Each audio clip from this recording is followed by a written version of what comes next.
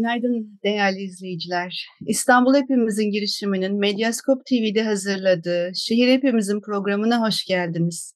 Güzel sabahlar diliyorum. Biz 26 e, Mart 2023 Pazar tarihinde bu kaydı çok değerli bir konuğumuzla, hocaların hocası, e, bir eğitimciyi, doğayan bir eğitimciyi konuk ediyoruz. Değerli hocam, Profesör Doktor Üstün Ergüder, hoş geldiniz.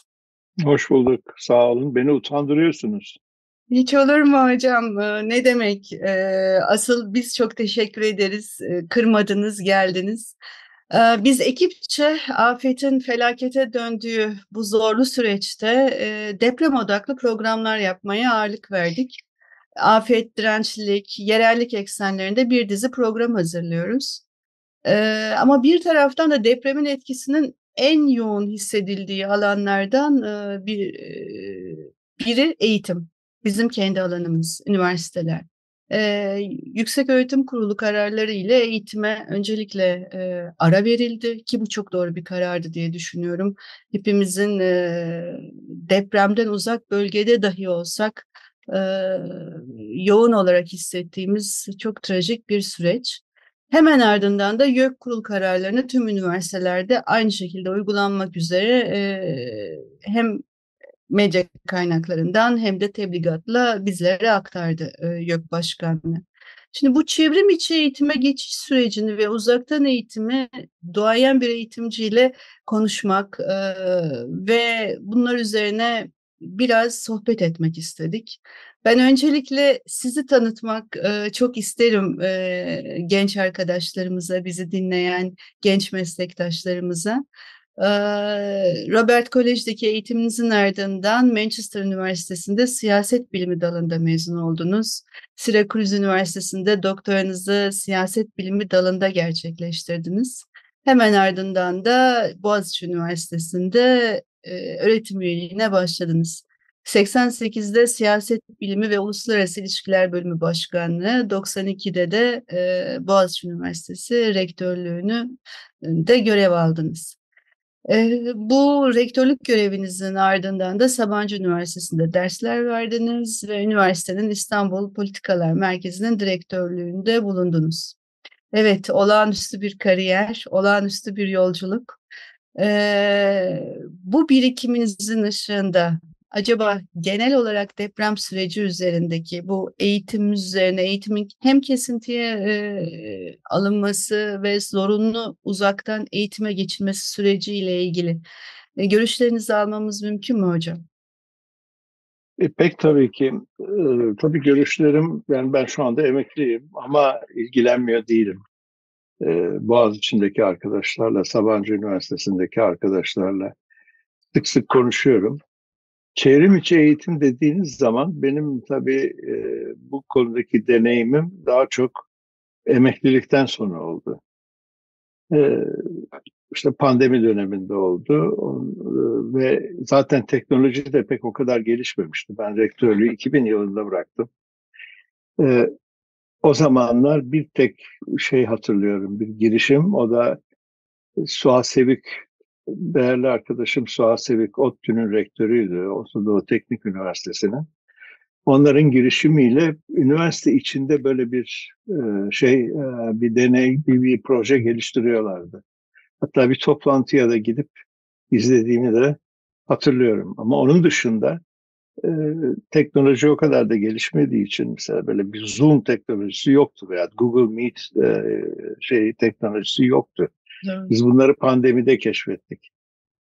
Ee, onun için benim e, yani bu dönem emekliliğime rastladı. Emekliliğime rastladığı için de ben e, ders vermedim. Ama çok yakın arkadaşlarım var. Ersin Kalaycıoğlu gibi mesela. Ondan, o devamlı Sabancı Üniversitesi'nde veriyordu. Ondan konuşup ne düşündüklerini anlamaya çalıştım. Bir parça da bu teknolojiyi başka ortamlarda çok kullanan bir adamım. Yani toplantılar yapıldığı zaman filan e, Zoom'dan kaç senedir her, artık herkesin de işine gelmeye başladı. Zoom'la evet. yapmak. Çünkü hele İstanbul gibi bir yerde. Evet. Mesafelerin e, bu kadar uzak olduğu. Evet, evet. Mesela ben eğitim reformu girişiminin de kurucusuyum. Ee, Karaköy'e kalkıp Etiler'den Karaköy'e gitmek bile artık insan düşünmeye başladı. Bırakın şey mesafeleri. Onun için Zoom işimize geliyor. Büyük bir kolaylaştırıcı. Ders verirken de bir kolaylaştırıcı olduğunu düşünüyorum. Hele pandemi bir dönemlerde. Ama ilk fırsat olduğunda ne yapmalı? Bu teknolojiyi nasıl kullanmalı? konusunda benim bir takım fikirlerim var. Bu deneyimlerden edindiğim fikirlerim var. Mesela yönetim kurulu toplantısı yapıyoruz veya yurt dışı kaynaklı bir takım seminerler e, seminerler oluyor, bir takım konferanslar oluyor, onlara katılıyorum. Benim giderek edindiğim intiba şu, hiçbir şekilde yüz yüze eğitimi yerini almıyor. Alamıyor, alamaz diye düşünüyorum. Ve bir de ben şuna da inanan bir adamım ki bu Boğaziçi geleneğidir. Çok önemli bir geleneğidir. Devamlı öğrenciyle öğretim üyesinin e, temas halinde olması.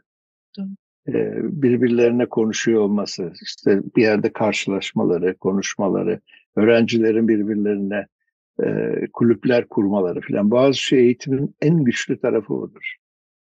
Yani e, yalnız işte derslerde edindiğimiz şu kadar bilgi değil o, o kadar bilgiyi aktarmak için iyi dinleyen bir öğrenci için. Çok yani bu teknolojide o belki iyi bir şey, e, iyi bir ama iyi bir araç çevrim içi eğitim. Fakat e,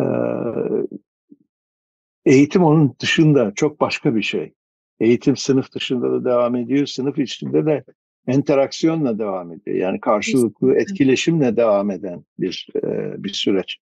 E onu onu sağlayamadığımız sürece bence çok e, bir takım şeyler çok eksik kalıyor diye düşünüyorum.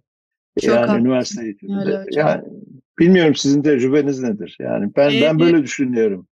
Çok benzeri aslında deneyimler. Ee, ben, Ama siz işin içindesiniz şimdi. Ben, ben şu anda siz işin içindeyim. Evet. evet.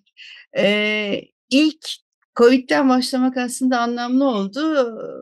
Covid sırasında Covid'den hemen önce ben İstanbul Teknik Üniversitesi'nden İzmir Yüksek Teknoloji Enstitüsü'ne transfer oldum. Ee, ve tam yeni bir kurumda, genç bir kurumda ilk defa işte derse başlayacağız. İki hafta derse başladım ve e, Mart ortası Covid patladı ve bir anda eğitime ara verildi. Şimdi o ara vermede e, kurumun da yani Türkiye'de aslında Anadolu Üniversitesi'nin ona olağanüstü bir altyapısı var bu uzaktan eğitimle sizin de bildiğiniz gibi. Temel Tabii, e, evet. master eğitimi yıllardır uzaktan eğitimle sürdürüyorlar ve çok değerli bir hem birikimleri var hem de ödünç verecekleri dijital bagajlar var.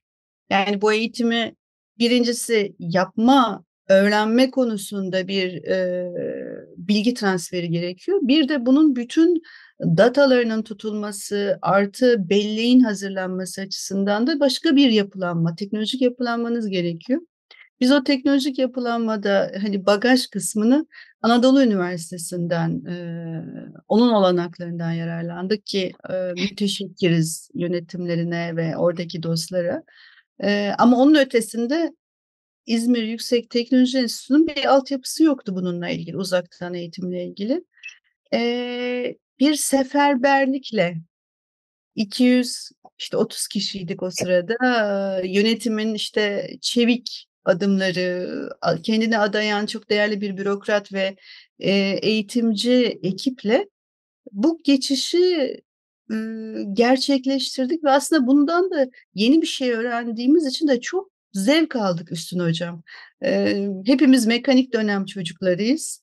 Ama yeni bir şey öğreniyoruz. Tamamen alanımız dışında bir e, bilgiye e, hakim oluyoruz ve pratikte de yapmaya başlıyoruz. Bir ay içinde evet. işte altyapısını kurduk ve geçişi tamamladık ve bütün derslerde geçtik. Ee, yani hakikaten o ilk iki ay, ilk üç ay müthiş bir tecrübe.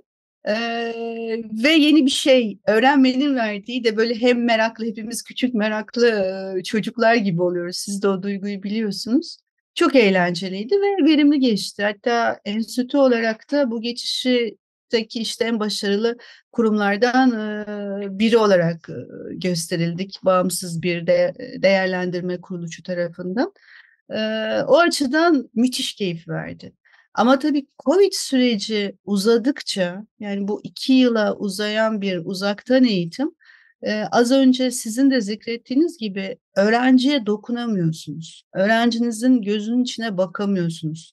E, iyi günde kötü günde beraber olamıyorsunuz, dertleşemiyorsunuz. Çünkü sonuçta öğretim kısmı çok rahat yapılıyor. E, evet. Rahat da ayrıca yani fazla ev, evinizden çıkmadan evet. kalkıp işte evet. bir materyali anlatıyorsunuz. Evet ama eğitim o değil. Hani bizler sizin de zikrettiğiniz gibi çok iyi biliyoruz. Eğitim tam da o dersliklerin dışında gerçekleşen yaşananlar, paylaştıklarınız, birikimler, deneyimler, birlikte gülmeniz, birlikte etkinlik yapmanız, çalıştaylar yapmanız, workshoplar yapmanız, birlikte dans etmeniz, birlikte türkü çağırmanız, o öğrenci topluluklarının tabii etkinlikleri, öğretim üyelerinden öğrencilerin birlikte öğretmeleri o olağanüstü bir sinerji yaratıyor. Dışarıdan gelen konuklar, ee, ve bu hepimizi çok besleyen ve yeni yeni katmanları da açan e, hani o Boğaz içindeki deneyim e, benim içinde yetiştiğim e, İT ortamında çok deneyimledik benim öğrencilik yıllarımda da öğretim üyesi döneminde de e, İT öğrenci topluluklarına çok değer veren öğrencisiyle birlikte olan ve öğrenci dostu bir kurum küçük olmasının gerektiği küçük olmasından, küçük ölçekli olmasından kaynaklı çok çevik ve atak bir yapısı var. Bir anda bunlar buharlaştı gitti ve o merakla öğrendiğimiz o ortam yok oldu. O konuda çok haklısınız. Onun için fiziksele geçince ben kendi adıma tekrar öğrenciyle buluşmak, onunla birlikte üretmek, kendi üretim, araştırma süreçlerimiz içine öğrenciyi dahil etmek olağanüstü tabii hem tat veriyor, keyif veriyor. Hani bizim asli varlığımız öğrenci için zaten var olmak. Ama bir taraftan da birlikte öğrenmenin, birlikte yeni şeyleri keşfetmenin verdiği bambaşka bir haz var. E, fiziksel ortamda ancak bunlar tam anlamıyla e, yerine getirilebiliyor diye gözlemliyorum, deneyimliyorum ben de değerli hocam.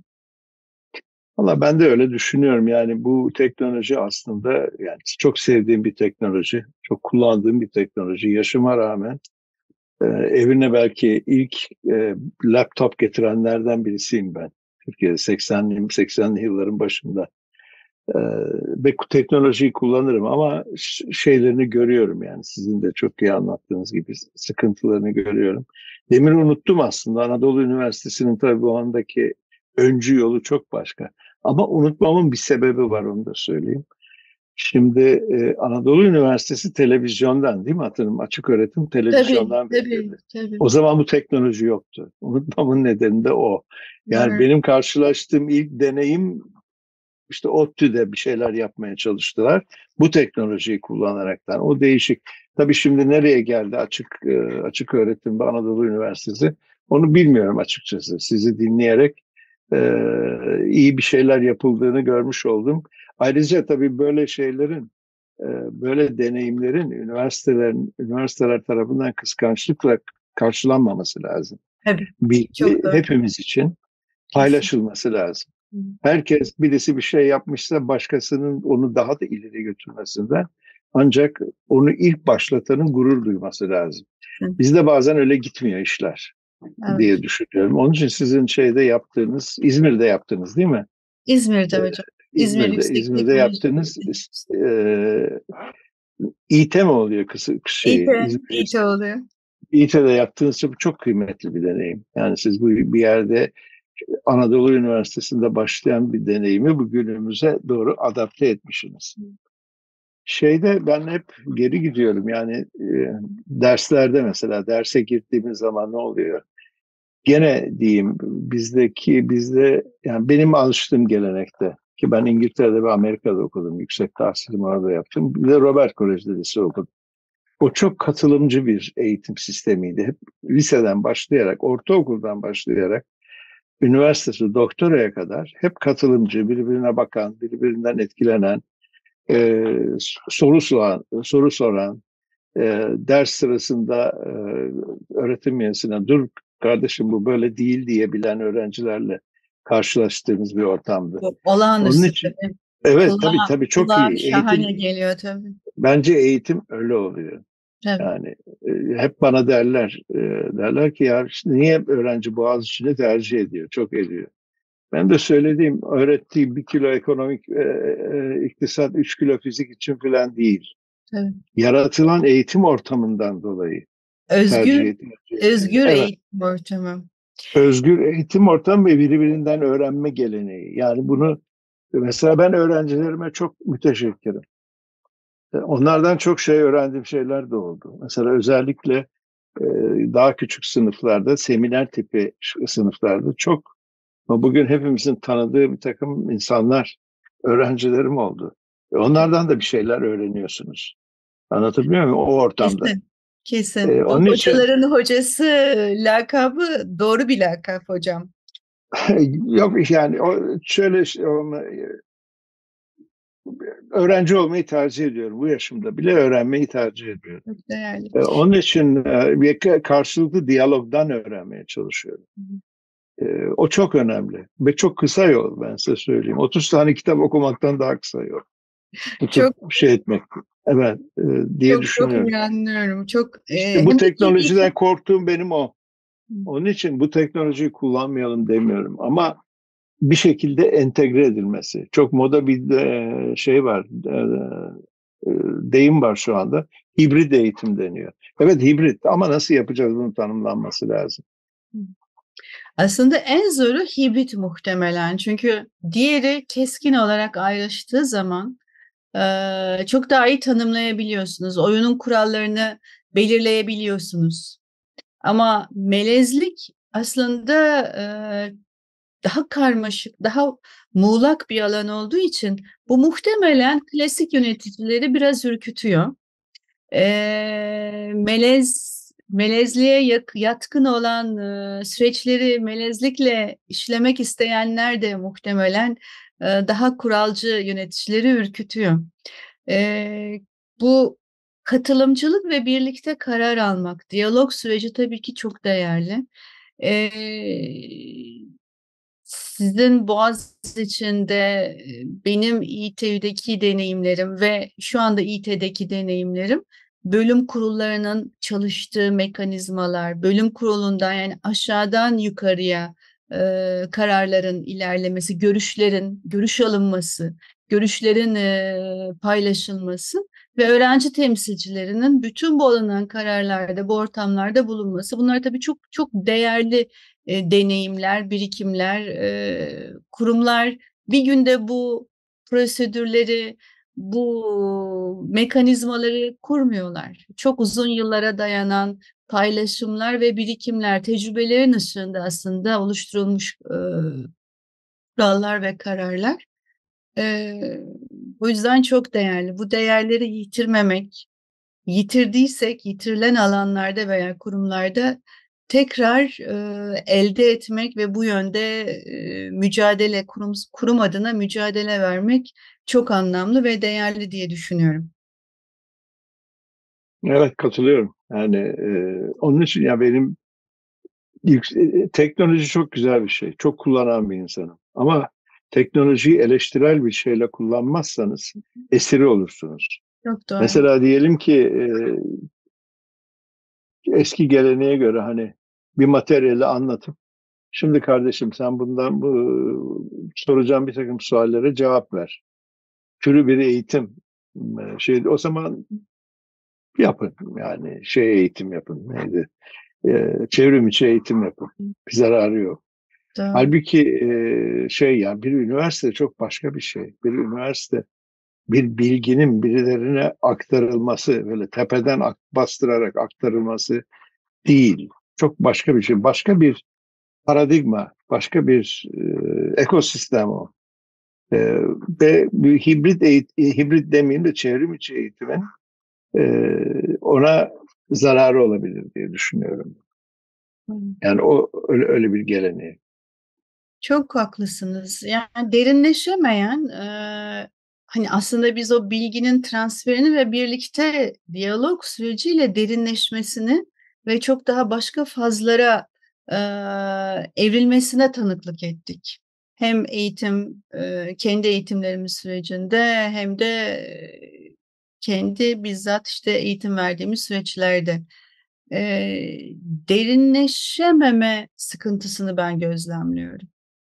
Yeni bir bilgiye e, üretmede aksama gözlemliyorum ki bunlar tabii e, daha standart, daha jenerik bir çerçeve içinden e, üretim yaptığımızın işaretleri. E, o da bir taraftan e, çok düşündürüyor.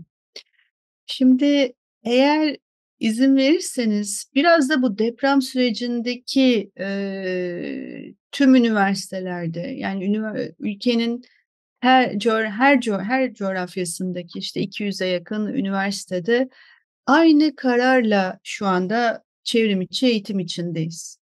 Ee, bu bir anda fiziksel eğitimin kesilmesi ve işte hibrit e, hibrit yapılmasına sadece tıptaki e, veterinerlikteki ve işte diş hekimliği eğitimlerinde olanak sağlanması. Biz ilk açıklamada açıkçası biraz çok heveslenmiştik. Melez eğitim, hibrit eğitim kelimesi geçince pek çok üniversite hibrit eğitime geçeceğine dair deklarasyonlar yayınladı.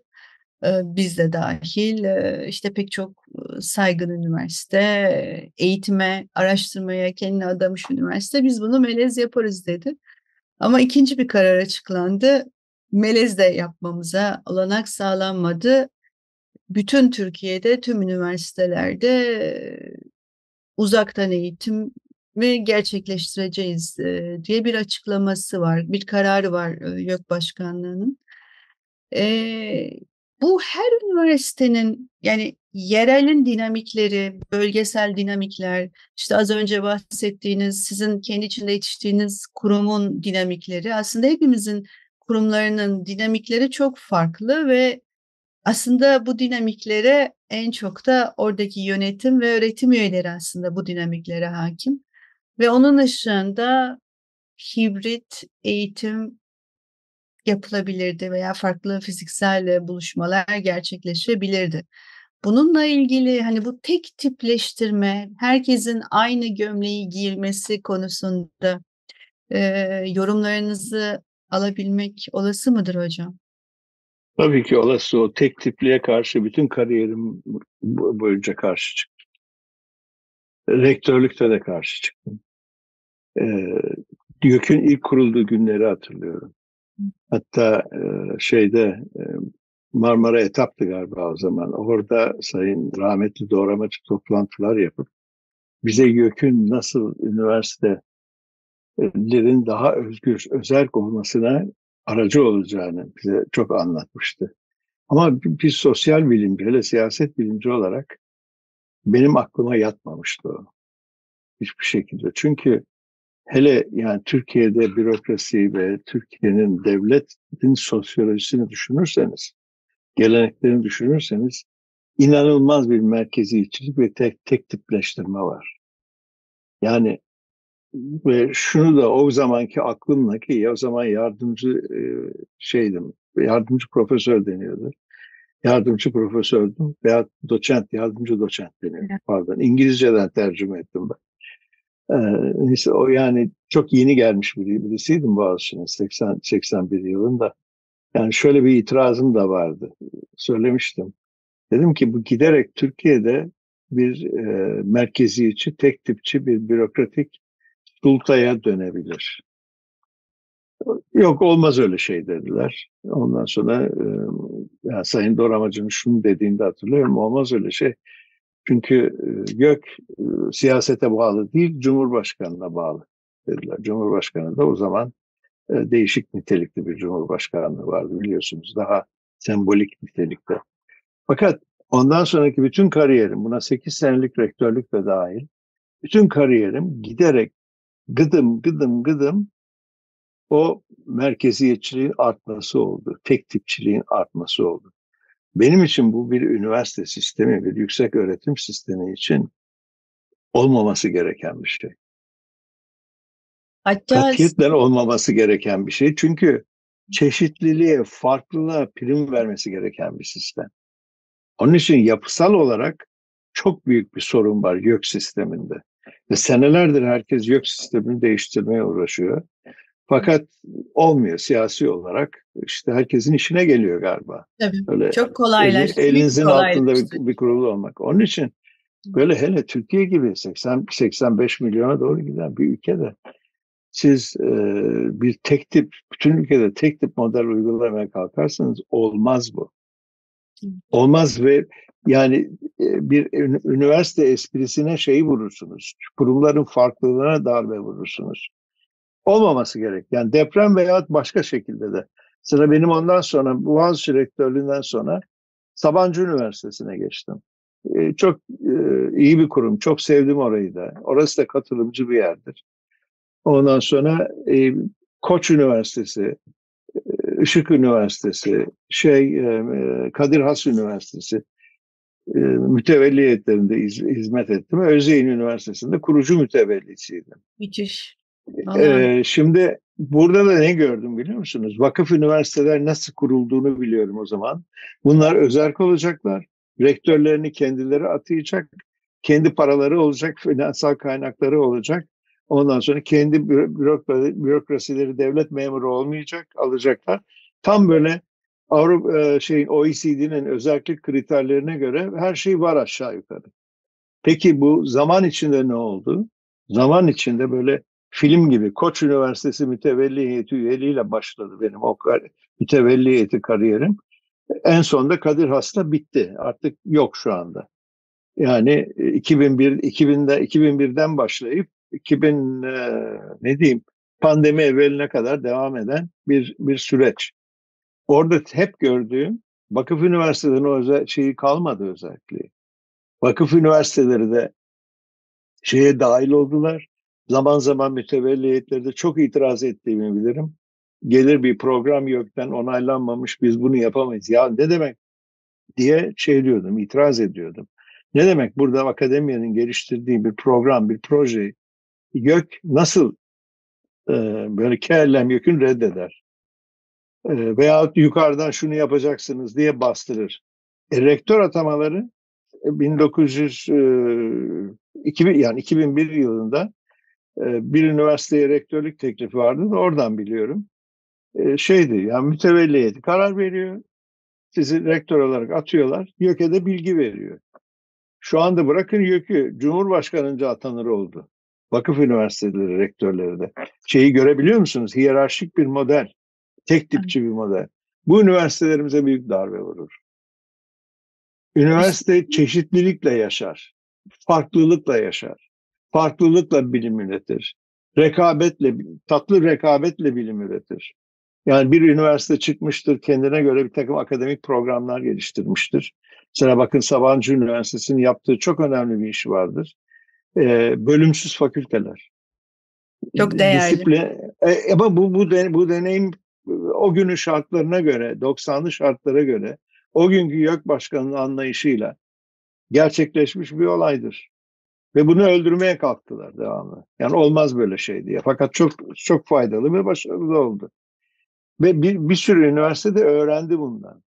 Kesinlikle. Anlatabiliyor muyum? Yani bu ortamı yaratmanız lazım. Böyle tatlı rekabet, hani birbirinden öğrenme. Kurumlar arasında da bu olur. Onun için siz tepeden böyle işte bugün bu sabah saat 5'te 8'de kalk, akşam 9'da yat gibi e, tek tipleştirici şeylerle olmaz bu. Deprem meselesinde ele alalım. E, deprem meselesinde e, yani bazı üniversiteler bazı üniversitelerin belki kapatılması gerekiyordu. Bazıları da devam edebilirdi.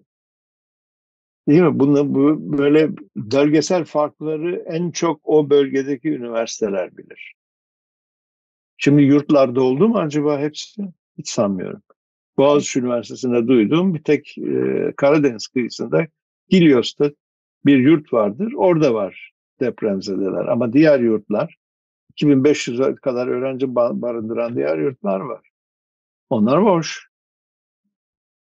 Ve öğrenci yok. Yani çevrim, çevrim içi eğitim denmiş, öğrenci gitmiş. çok kıymetli bir sömestrin yarısı gitmiş. Siz Nisan'da açacaksınız. Ne olacak ki? Pardon bu konuda doluyum biraz uzattım gibi geliyor.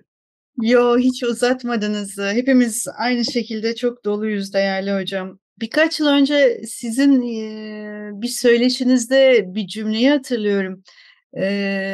OECD ülkeleri arasında en çok merkezi eğitim kararları alan ülke Türkiye diye konumlandırmıştınız. Onlardan biri. Biri. Yani bizden bizden mesela Japonya'yı bilmiyorum. Bizden daha böyle merkeziyetçi gözüken Japonya var ama o bir farklı bir bir de oturduğu kültürü şey.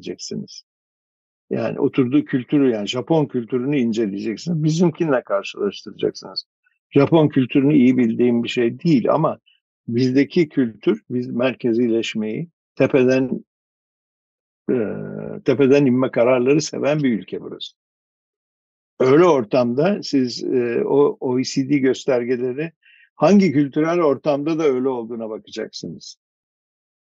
Anlatabiliyor muyum? E, şimdi böyle bir kültürel ortam olabilir ki ülkede evet sistem merkeziyetçidir.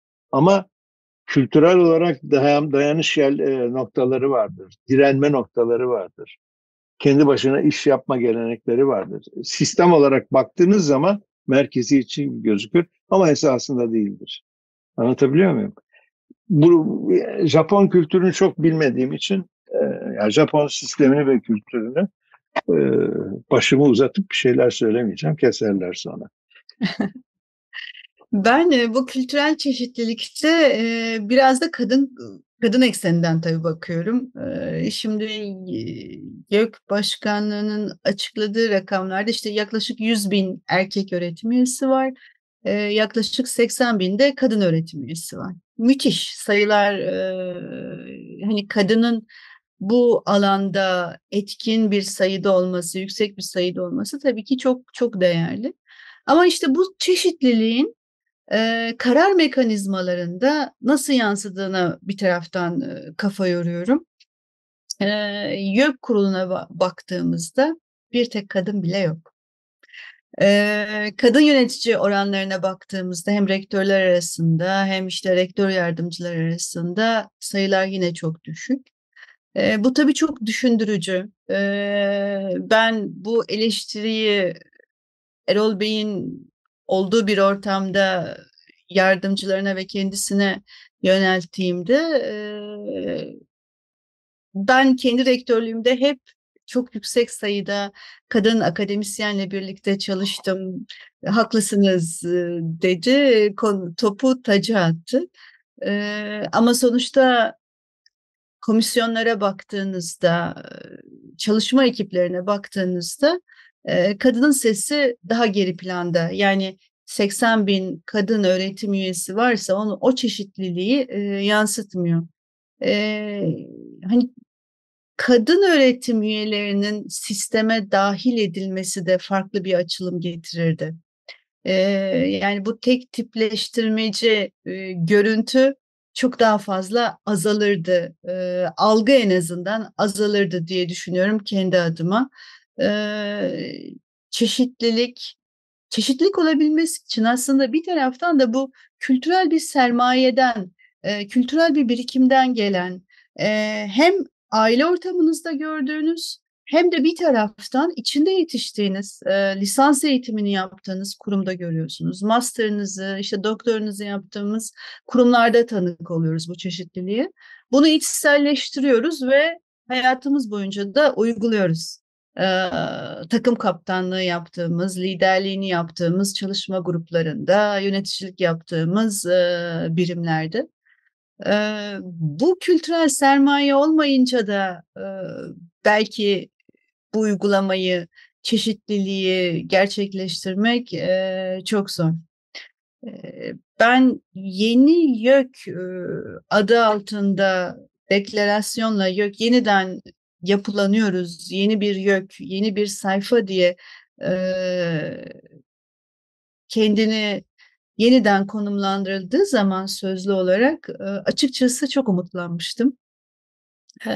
Yeni bir faza geçiyoruz. Çok sesli, e, yerel dinamiklerin, bölgesel dinamiklerin, kurumsal dinamiklerin e, yansıyabileceği, ortamlar kurgulanabileceği konusunda umutlanmıştım. E, maalesef e, böyle bir gözlemde bulunamadık. Böyle bir deneyimi yaşayamadık değerli hocam. Valla haklısınız yani ben de Sayın Başkan gibi diyebilirim Boğaziçi ortamında ve Sabancı ortamında çok kadın yöneticiyle çalıştım. Zaten e, benden sonra da iki tane kadın rektörümüz evet. oldu. Evet. Ayşe Soysal'la Gülay Barbarasoğlu. Bu onun dışında da çok yöneticiler, rektör yardımcıları, dekanlar falan yani aşağı yukarı erkeklerle baş başa. Ee, hatta bir arkadaşım demişti sen harem ağası mısın bana gibilerden. Ee, yani o, o raddeye gelmişti. Ama ben çok faydalı gördüm onu. Yani evet. kadınlarla çalışmak çok ayrı bir perspektif katıyor. Ee, ondan sonra daha barışçı olabiliyorsunuz e, diye düşünüyorum. Yani her zaman olmasa da evet. E, bazen yok, bazen oluyor şeyleri onların tabii. Şimdi genelleme genelleme yapmak, e, genelleme yapmak mümkün değil. Oluyor. Onun e, ne diyeyim? Farklı ortamlarda çıkabiliyor ama genellikle ben daha bir yumuşak bir şey görüyorum. Çok doğru. Çok doğru. Ee, bir ortam yaratılabiliyor diye düşünüyorum. Ee, ama bu kavgalar olmuyor anlamına gelmiyor. Oluyor. Ama hayatta hiçbir şey o kadar siyah beyaz değil ki. Çok doğru. Yani biz bazen Türkiye'de hep siyah beyaz düşünmeyi gidiyoruz. Gri alanlarda gidiyor hayat her zaman. Çok doğru. O gri alanı ne kadar gri ne kadar beyaz olduğuna olduğu çok önemli bence. Siyah beyaz olduğu değil diye düşünüyorum. Ee, bir şey söyleyecektim. Şunu çıktı kafam aklımdan kadın meselesine gel gelince e, onda da şey hissettiğim bir konu. E, yani çok pekişmiş fikirlerimin olduğu bir konu. Siz çeşitlilik, çok seslilik deyince ister istemez e, o pası aldım değerli hocam. E, çeşitlilik üniversite için çok önemli. Çok. Bakın çok yani çeşitlilik olmazsa üniversite üniversite olmaz. Ha demin bir size bir anekdot anlatayım. Lütfen. Demin dediniz ki YÖK kendini yenileyecek dedi. Ee, şimdi seneyi tam unuttum ama YÖK Başkanı e, ikisini unuttum. Çetin Saya'ydı o zaman galiba.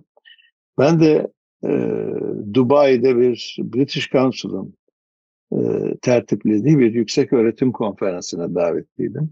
Ama benim temsil ettiğim Türkiye'deki bir üniversite değildi. Ben o ara e, merkezi Bologna'da, İtalya'da olan e, Magna Carta Observatory vardır. Of Academic Freedom and e, şey e, Institutional Autonomy. Onun başkanıydım. Müthiş. Bir dört sene onun başkanlığını yaptım ben. Oraya İtalyan gibi gittim ben. Yani o şey, o kurumu temsilen gittim. Türkiye'deki bir kurumu değil. Ee, şey de vardı, Sayın Çetin Say'a da vardı orada ve YÖK'ü nasıl yenileceğini, YÖK'ün nasıl yeni bir kanun hazırladıklarını, YÖK'ün bu şekilde reforme edileceğini anlattı. Orada İngilizleri bilirsiniz, böyle bir espri şeyleri vardır. Ee, gelenekleri vardır. Yani çok ciddi bir şekilde kalktı bir İngiliz öğretim üyesi dedi ki benim bizim memlekette dedi e, şey Noel yemeğine dedi, Christmas yemeğine Hindileri davet etmezler dedi. Şimdi düşündüğünüz zaman yani diyor ki sen kardeşim kendini reform edeceksin ama kendini de bir yerde yedireceksin yani hindi, hindi. Onun için oraya biz davet etmeyiz onları diyor. Bırakın başkaları yapsın demeye Müthiş. Öyle bir şeyim var, anekdotum vardı. Burada bazı arkadaşlara söyledim. Çok sevdiler onu. Yok çok çok isabetli olmuş. Benim de doktor çalışmalarındaki deneyimim İngilizler konusunda bu. University College London'da yaptım. Ben de mimarlık politika hareketinde gerçekleştirdim. Ee, o yüzden çok iyi anlıyorum. Mesajı aldım. Bize de bunu şey derseniz tam işte şimdi Ramazan e, Kurban Bayramı daha sonra tabii Kurban Bayramı'na gideceğiz. Herhalde biz de e, kuzuları kavurma yemeye çağırmayız değil mi? Aynı benzer bir örnek Çağırmayız. Çağırmayız değil mi? Peki, bu güzel sohbet, eee, konu konuyu açıyor, ııı, zevkle devam ediyor ama bir zaman kısıtlamamız var. Eee, Tabii, tabii. rejiden, eee, süreyi belirtiyorlar. Aktarmak istediğiniz son bir söz var mıdır, eee, değerli Üstün Bey? Yok, teşekkür ederim. Medyascope çok sevdiğim bir kuruluş. Eee, Ruşen Bey, tanırım başka ortamlardan, Boğaziçi'nden filan. Eee, çok güzel bir iş yapıyor. Me Medyascope her zaman desteklediğim bir yer. Tabii çok söyleyeceğim şey olur ama sizin bu sefer bütün program limitleri aşı aşılır gider. Onun için müsaade edin. Burada Diğer teşekkür programa. etmekle Ben de çok hoşuma gitti sizden konuşmak. Beni konuşturdunuz. Bazen, eee, konuşturamıyorlar.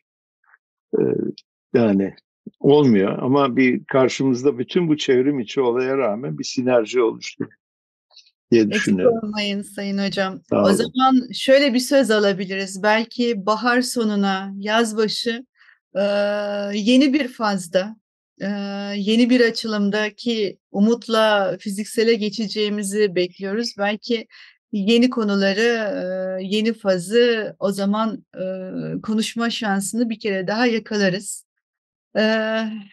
İnşallah. Böyle ararsanız. Aranmak hoşuma gidiyor. Ararsanız hoşuma gider. Yani emekli olunca bir yerde, eee, öyle oluyor. Değerli hocam, çok çok teşekkürler. Sağ olun.